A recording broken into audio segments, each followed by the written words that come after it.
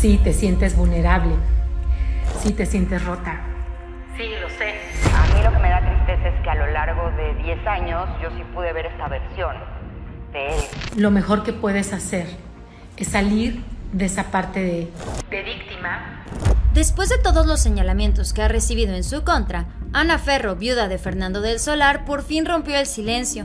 Esto después de que Ingrid Coronado asegurara que el presentador argentino no protegió a sus hijos tras dejarle su herencia a la maestra de yoga. A través de su perfil de Instagram, Ana Ferro escribió lo siguiente: Quisiera decir tantas cosas. Todos o la mayoría me dicen qué fuerte eres, y al principio me molestaba porque fuerte no lo era. Me sentía más rota que un plato estrellado en el piso.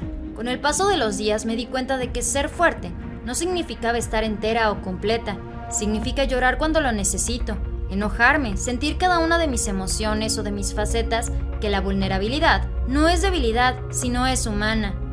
Ana contestó que ella es un ser tan imperfecto como todos y cada uno de nosotros, pero que eso no significaba que valiera más o menos. Además, agregó, al contrario, todas mis cicatrices son de todas las caídas que he tenido y de la mujer en la que me he convertido, y me siento orgullosa de quién soy, y así, rota, entera, media hecha, completa, es la mujer que soy hoy.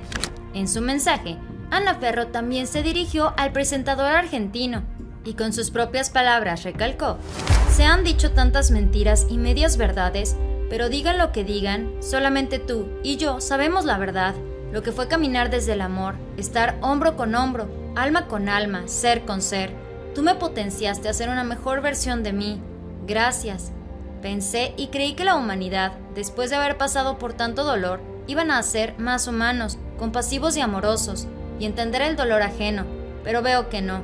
La falta de amor, de comprensión, de compasión, no existe, y es normal hablar del amor, valores, ética, que hace falta.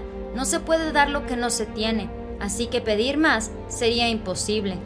Para finalizar con este mensaje, la instructora de yoga reiteró su amor por Fernando del Solar, a pesar de que él físicamente ya no se encuentre con nosotros. Para terminar, Ana Ferro escribió, Dejarte ir es una de mis experiencias más dolorosas y tristes que he tenido que vivir hasta hoy. Jamás pensé que el corazón y el alma dolieran tanto, pero sé que de esto vamos a salir Francesca y yo.